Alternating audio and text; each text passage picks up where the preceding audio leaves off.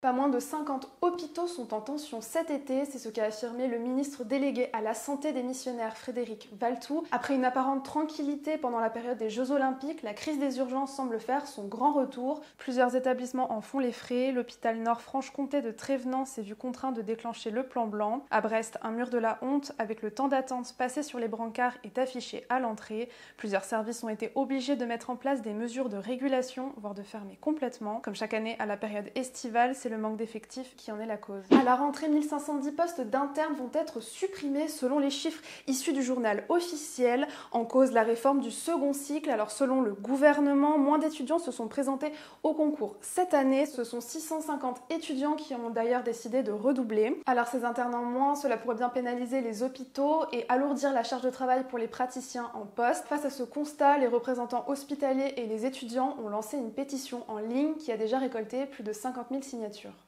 France, les autorités sanitaires se tiennent prêtes à agir face à la recrudescence de l'épidémie Mpox. L'Institut Pasteur, qui avait déjà pris en charge des patients lors de la précédente épidémie en 2022, se dit en capacité de tester et vacciner les patients.